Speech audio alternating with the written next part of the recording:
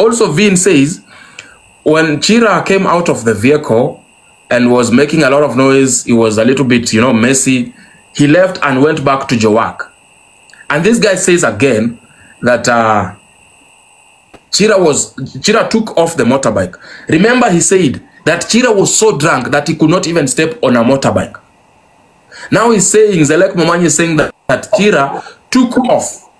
How do you take off while you are completely drunk? You cannot even stand on your own.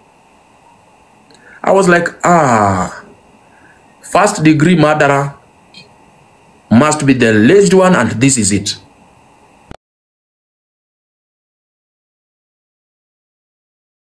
Home Chira, because Chira is extremely drunk. Where to? See? Yeah, yeah. So I was like, uh, you guys, you think everyone is a fool. Okay, continue. So they continued lying and lying on media. Then appears another guy who is now Zeleck. Zeleck also, in his statement, says that Chira asked for, a, for, for, for help, and then he took him the opposite direction. So you are helping someone that you claimed you know, but you took them to the opposite direction rather than their home. What do you mean, bro? That is when I connected the dots.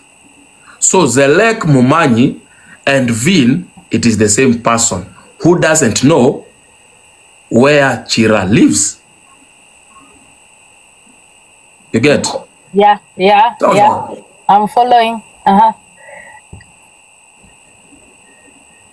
You said that you, le- uh, you left Chira on the road. That is Zeleck Momanyi. Yeah. And on also Vin says when Chira came out of the vehicle and was making a lot of noise, he was a little bit, you know, messy. He left and went back to Jawak. And this guy says again that uh, Chira was Chira took off the motorbike. Remember, he said that Chira was so drunk that he could not even step on a motorbike. Now he's saying Zeleck Momanyi is saying that, that Chira took off. How do you take off while you are completely drunk? You cannot even stand on your own. I was like, ah, first degree murderer must be the alleged one, and this is it. Because your own stories, according to what you're saying, and you're the one who are a little bit sober that you are offering a lift, and this is what you're saying, bro, tell us. Now, funny thing even happened. There are ladies who are on TikTok and then they invited Zalek. So Zalek made a mistake of sending them a picture. A picture that has not been seen by anyone.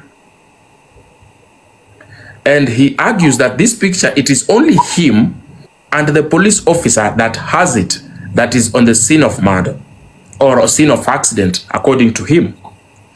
So when we looked at the picture, remember Chira was having a green, green brownish jacket Jacket, yeah. and he had shoes on. So this picture that Zeleck Momanyi takes uh, forgets. Let me check if I can uh, show you here. Forgets that Chira had a jacket. Where is the jacket? So even in that picture, Chira does not have jacket. Worse enough, he doesn't even have shoes. So we are like, wait, bro. nice to meet you, but uh, where is the jacket? Who was trying to get into the pockets of Brian Chira? Uh, kindly explain that. Where are the shoes? Why is it that you are saying his uh the the canters, you know, like ran over him and there is no single scratch? You mad or what? The guy disappeared very fast. And uh, the comment he gave next was, My girlfriend has said that I should not continue answering the questions. And that is how he, he, he, he ran, disappeared. I want to share with you the image that is uh, shared. And also remember, some time back, when Babati was explaining to people of what had occurred, Yeah. he also said the same thing. It is only me and the police that have that pictures Picture, yeah. of the scene. Yeah. Can we draw the triangle now? Yeah. Yeah. So Yeah. the police is constant. Okay, in this case, the police is constant. Mm-hmm. But the two variants is Baba Talisha and Zalek Momanyi.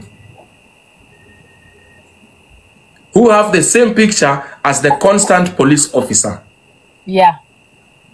So the question is then, since Babati was not on the site when it happened, he claimed to have been at Mount Longonot. So who sent him the picture?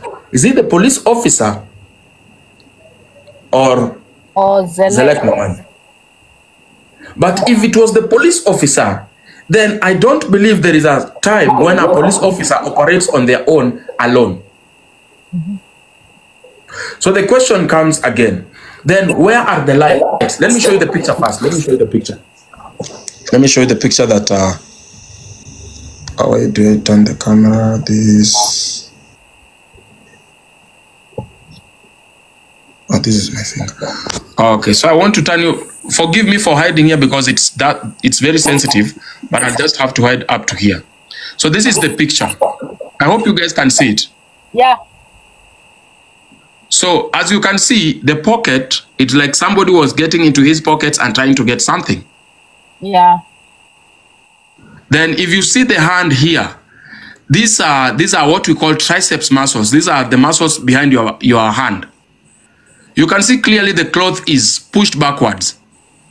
So this means somebody was carrying Chira and trying to place them here through these angles, even the cloth here. So somebody was carrying Chira and trying to press them here. So my question is, who was carrying Chira? Does this look like a canter has passed over this guy? Then we went even further to try to brighten the image because it was in total darkness. There was no shoes. So where's the jacket and the shoes?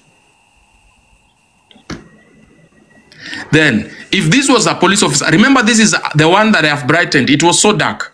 So we were asking uh, the questions again to Zeleck Momanyi. Okay, we we are not disputing what you are saying. Probably you are right in your own, uh, you know, in your own eyewitnessing. But the question is again, bro. So you mean the police officers came in the darkness, and the the lights of the vehicle, the siren, anything, there was nothing. And why is it that you took a picture in total darkness?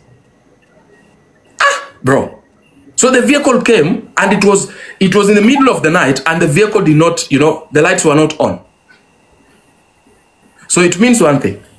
There is one corrupt officer here, if there is existing anyone, that helped these two guys to try and cover up this one.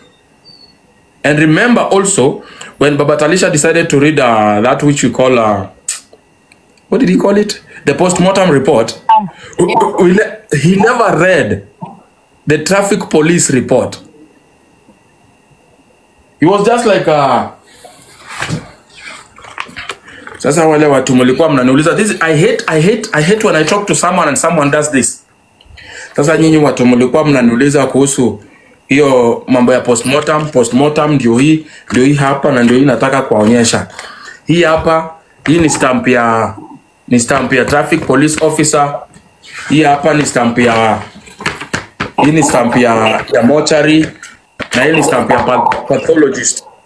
So guys, ndio hii you can see for yourself, you can see you can get serious bro. Just get serious for a minute, you know? I was what is this? What is he doing? I was so much pissed off. Trust me, I was so much pissed off that I left that life. Because you're talking to me and you're swinging, you know, the moment you start swinging the chair, that means that you're not serious. yeah.